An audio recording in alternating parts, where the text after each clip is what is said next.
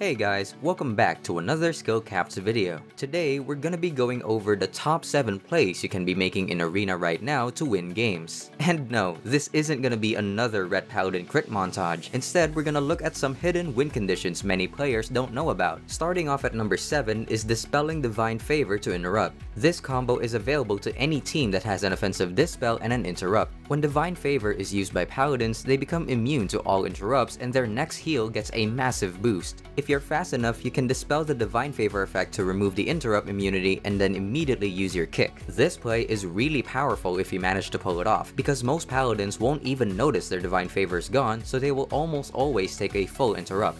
Here we have a mage in a 1v2 situation against Holy Paladin Affliction Warlock. With Interrupt out of the way from the Warlock and Combustion available, there is a kill opportunity on the enemy Paladin. With the Paladin locked down, the mage uses Combustion. Without a full fear available, there isn't much the enemy team can do to stop the damage. Without the Warlock to soak the meteor damage, the enemy Paladin is dropped dangerously low, and the damage is enough to force Divine Protection and save by the light. The Warlock frantically uses Mortal Coil to try and peel, and the Paladin is now behind a pillar with Divine Favor active. Remember that this buff will make the Paladin immune to interrupts and will give them an empowered heal. The Paladin starts casting a flash of light. If this goes off, the kill will be over. But with an incredibly fast mechanical play, the mage is able to spell steal the Divine Favor and instantly counterspell the Paladin just a few milliseconds before the cast finishes. This high skilled play was game changing and now puts the mage in a good 1v2 situation against the enemy Warlock. Although it was made shown in this clip, this very same combo is available to Warlocks with their Fel Hunter Dispel and Spell Lock. In any case, timing your Dispel with an Interrupt is a really great way to catch enemy Paladins off guard and open up a new kill window. If you saw our video on how to use BM Trinket, you already know how overpowered Gladiator's Emblem can be. If you need a refresher, BM Trinket instantly boosts the player's total HP when used, but when the effect ends, the bonus HP gets removed. This causes the player to instantly drop in health. If you line up your burst when this happens, you can instantly kill enemy players. Once again, this came into play in a recent AWC tournament, where Maro of Skill Capped EU was able to time his damage at the end of a BM trinket. When Gladiator's emblem falls, the target's HP quickly drops, and this sudden drop in HP was a perfect time to pop combustion and score a really intelligent kill.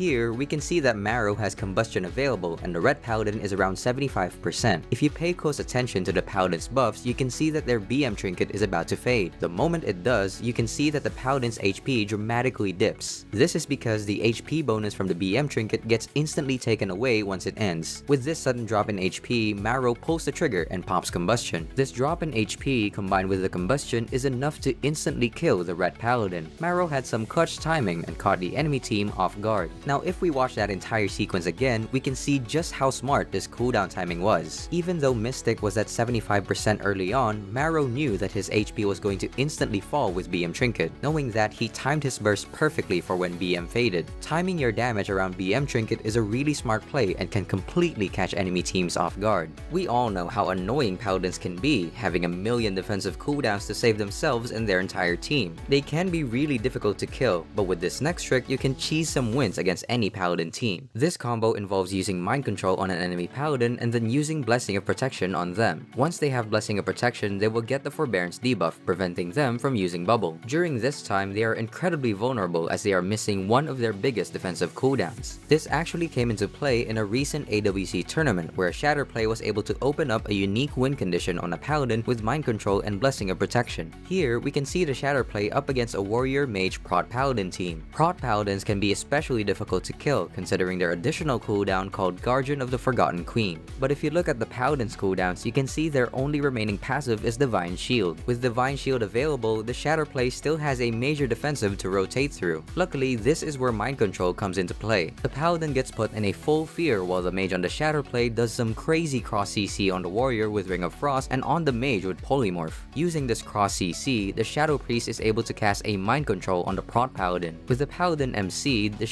Is able to apply Blessing of Protection, putting the Prot Paladin on Forbearance and making them unable to bubble. Now without bubble available, the Shatter Play goes in for the kill, popping every CD they have while the Paladin is CC'd and on Forbearance. The Mind Control BOP play was able to win them the game using a win condition that a few teams ever utilize. This next combo involves everyone's favorite or least favorite spec, depending on who you ask. If you haven't heard of it by now, sub-rogues have a spec known as the One Dance build, which sacrifices a lot of control control options to get a massively strong Shadow Dance. The two most important talents in this build are Night Stalker and Dark Shadow. Night Stalker is chosen over Subterfuge in order to get a 50% damage increase out of stealth, and Dark Shadow is chosen to give you a 30% increase to damage during Shadow Dance, in exchange for giving up a second charge of Shadow Dance with the Enveloping Shadows talent. On top of all this, the build is often used with the Dagger in the Dark PvP talent to get a huge increase to Shadow Strike damage. When you combine all of these damage modifiers with Shadowy Duel, you get a crazy powerful combo for quickly taking out an enemy player. Here you can see Method EU on the back foot against skill capped EU. With Divine Shield used from the Paladin and Ice Block Force on the Mage, Method needs to find a way to turn this game around. What skill capped is not ready for however is the strength of the one dance build. Here you can see Zeepie of skill capped being put into a full kidney shot and shadowy duel. Despite being at 100%,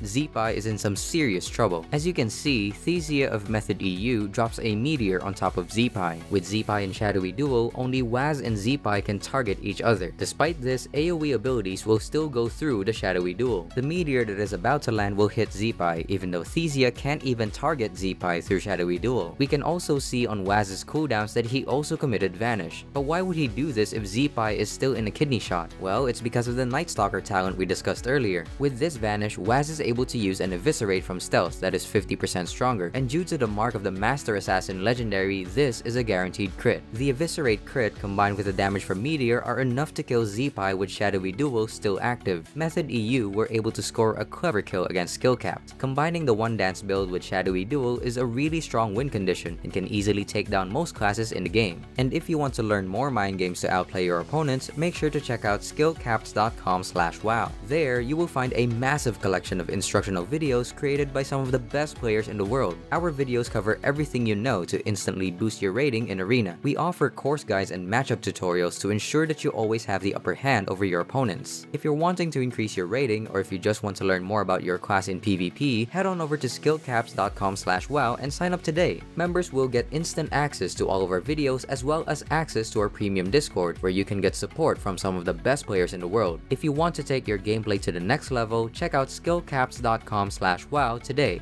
Next, we have a really advanced play that almost no Demon Hunters are utilizing. You already know by now that almost every Demon Hunter is playing Night Fae, giving them access to the ability called the Hunt. We've all probably died to this ability this expansion, and because it's so iconic to the Demon Hunter class, many players will preemptively use defensive CDs once they see it cast. To get around this, it is possible to fake cast the Hunt as a Demon Hunter and bait out enemy CDs without actually using your damage. This allows you to get a full damage Hunt cast without worrying about enemy defensives. Here, you can see a Demon Hunter playing against TSG. The enemy Paladin is under a lot of pressure, and with Divine Protection about to fade, it's at risk to dying to the Hunt. The Demon Hunter fake casts the Hunt once, but doesn't get any CDs. Moments later, with the enemy team in an AoE stun, the DH goes for another Hunt juke. This time, the fake cast pays off, with the enemy Paladin using Bubble and with the enemy DK using Anti-Magic Zone. With the Hunt still available, the Demon Hunter is now in a really good position to win this game. Early on in Shadowlands, we made a video about the most broken abilities in the game, and if you recall, Mind Games was pretty high on our list. This spell continues to be one of the best abilities in the game, and it has some really cool outplay potential against different forms of self-healing in the game. Some of the most important kill windows using Mind Games are opened up when Mind Games is used before the target uses a massive self-heal. If timed properly, Mind Games can counter the healing done by Frenzied Regeneration when it automatically procs due to the well-honed Instincts Druid Conduit. Because Frenzied Regen will always proc on Druids at 40%, Mind Games can act as a quick counter to deal massive damage to the enemy Druid before they remove their Frenzied Regeneration buff. Another secret win condition of Mind Games is against Fire Mages to counter the heal from Cauterize. When a Fire Mage reaches 0 HP, they will instantly heal with Cauterize to 35% HP, but if Mind Games is on the mage when this happens, they will instead die instantly due to the reversal of healing to damage. Here we have a Ret Warrior against an RMP where Mind Games will play the primary role in scoring a kill. Although we have just forced Ice Block, the RMP could reverse at any moment with Combustion available. Our Priest gets interrupted on Mass Dispel, but pay attention to his buffs. Prior to the Ice Block, our Priest had used Thought Steal on the mage, stealing their Polymorph. With our priest now having polymorph, our team has an additional control option, and more importantly, we have taken away an important control option from the enemy team. Without polymorph, our team can be very aggressive. With polymorph stolen, our priest also has another spell school, allowing them to cast polymorph immediately after being interrupted on their holy school. The enemy team goes in for the kill, with both smoke bomb and combustion being committed. Luckily, our melee are able to respond with defensive CD rotation. The ret paladin uses blessing of sanctuary to break the warrior out of stuns, allowing them to use die by the sword and intimidating shout, shutting down the kill. Our priest goes for a flash heal, baiting an interrupt from the mage. With Thought Steal still active, this allows our priest to cast another polymorph on the enemy healer. Now with interrupts down and the priest stuck in another polymorph, our priest is able to cast mind games on the mage right before Cauterize procs. The Cauterize heal gets reversed, instantly killing the mage. With some clever Thought Steal usage, our priest was able to keep momentum for his team and end the game with control and damage onto the enemy mage. And finally, as the last secret win condition for Arena, we need to look at the power of knockback effects. The two most popular and important knockback effects to be aware of are Thunderstorm from Elemental Shamans and Explosive Trap from Hunters. On maps with a Z-axis like Blade's Edge or Dalaran Sewers, knockbacks can play a huge role in opening up kill windows by separating enemy players from their healer. Many players use these abilities defensively, either to stop CC or to knock enemy players away while they are getting trained, but few players realize its offensive potential. If used properly, it can create a huge distance between enemy players, causing opponents to be out of range of their healer and in a really vulnerable position. Here we have a 2v2 match on Dalaran Sewers, a map with a Z-axis. With this additional axis in play, it is possible to knock the enemy priest far away from their monk.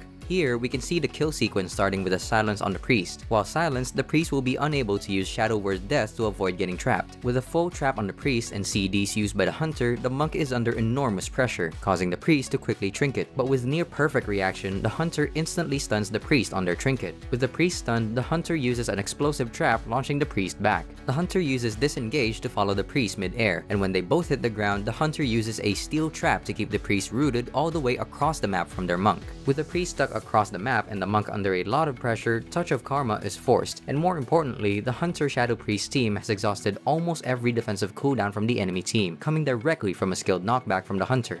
And there you have it. Now you know some of the most broken win conditions in the game. And as promised, this wasn't just a Ret Paladin Divine Toll montage. Arena is sometimes about being creative and going against the typical metagame. Not many players are ready for these combos in Arena, so you could easily catch your opponents off guard. See if you can incorporate some of these things into your own gameplay. What other hidden win conditions do you see in Arena? Let us know in the comments below what crazy combos you have seen this season in Shadowlands. If you liked this video, make sure to give us a like. And as always, make sure to subscribe with all notifications turned on to never miss a future upload. See you soon!